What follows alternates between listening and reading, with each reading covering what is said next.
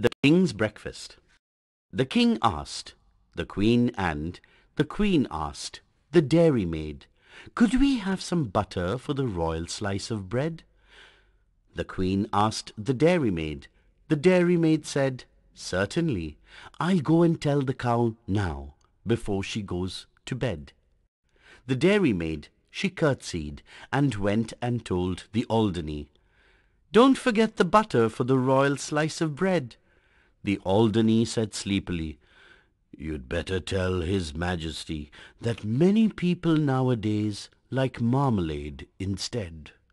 The dairymaid said, "Fancy," and went to her Majesty. She curtsied to the Queen, and she turned a little red. "Excuse me, your Majesty, for taking of the liberty, but marmalade is tasty if it's very thickly spread." The Queen said, "Oh!" and went to his Majesty.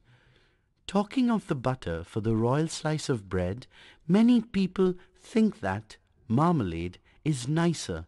Would you like to try a little marmalade instead?" The King said, "Bother!" and then he said, "Oh, dearie me!" and went back to bed. "Nobody," he whimpered, "could call me a fussy man. I only want a little bit of butter for my bread."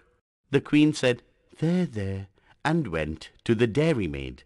The dairymaid said, "There, there," and went to the shed. The cow said, "There, there, I didn't really mean it. Here's milk for his porridge, and butter for his bread."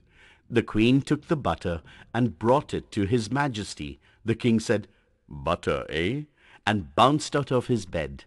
"Nobody," he said, as he slid down banisters, "nobody, my darling, could call me a fussy man, but I do like a little bit of butter to my bread."